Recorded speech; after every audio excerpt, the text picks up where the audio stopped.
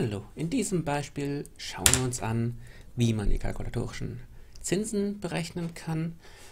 Ähm, und der Ansatz ist eigentlich immer gleich. Wenn wir die kalkulatorischen Zinsen ausrechnen möchten, müssen wir erst die Höhe des betriebsnotwendigen Kapitals ermitteln. Und das werden wir hier Schritt für Schritt machen. Aber erstmal zu der Aufgabenstellung, was haben wir denn hier gegeben? Wir haben hier ähm, das Anlagevermögen, so Anschaffungskosten gegeben.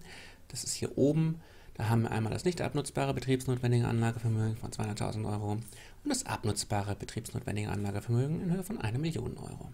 Und dann haben wir noch äh, verschiedene Sachen in, als Durchschnittswerte gegeben. Das macht einen Unterschied, das werden wir gleich in der Berechnung sehen. Und zwar das betriebsnotwendige Umlaufvermögen von 4.200.000, die Kundenanzahlung 40.000, Hypothekendarlehen 250.000, kurzfristige Rückstellungen von 300.000 und Verbindlichkeiten aus Lieferungen und Leistungen, die nicht kontierfähig sind, in Höhe von 200.000 Euro.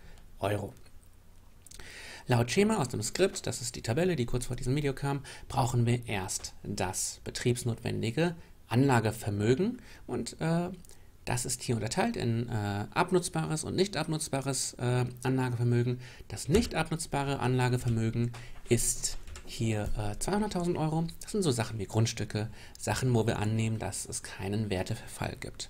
Dann haben wir ähm, noch das abnutzbare Anlagevermögen in Höhe von 1 Million Euro. Davon nehmen wir hier nur die Hälfte, weil wir ja die Sachen mit ihrem Durchschnittswert berücksichtigen wollen. Und ähm, wenn das Anlagevermögen in den Anschaffungskosten eine Million Euro gekostet hat und linear an Wert verliert, also linear in einer Gerade, ist es im Durchschnitt über die Laufzeit gerade die Hälfte davon wert. Also rechnen wir hier mit der Hälfte. Bei dem abnutzbaren Anlagevermögen ähm, ist der Durchschnittswert 200.000, weil es ja nicht an Wert verliert. Und äh, auf diese Werte hier rechnen wir dann noch das betriebsnotwendige Umlaufvermögen drauf, das wir hier haben, und zwar äh, einfach äh, 1 zu 1 mit dem Wert, der hier steht. Warum? Weil äh, das betriebsnotwendige Umlaufvermögen ist ja schon als Durchschnittswert angegeben, deswegen nehmen wir einfach hier diese 4.200.000 und erhalten unterm Strich als Zwischenschritt quasi das betriebsnotwendige Vermögen. Wenn wir da jetzt weitermachen, ähm, um vom betriebsnotwendigen Vermögen jetzt zum betriebsnotwendigen Kapital zu gelangen, müssen wir noch das Abzugskapital abziehen. Abzugskapital ist Fremdkapital, das dem Unternehmen zinslos zur Verfügung steht. Darunter fallen hier die Kundenanzahlung, die kurzfristigen Rückstellungen und die nicht kontierfähigen Verbindlichkeiten aus Lieferung und Leistung.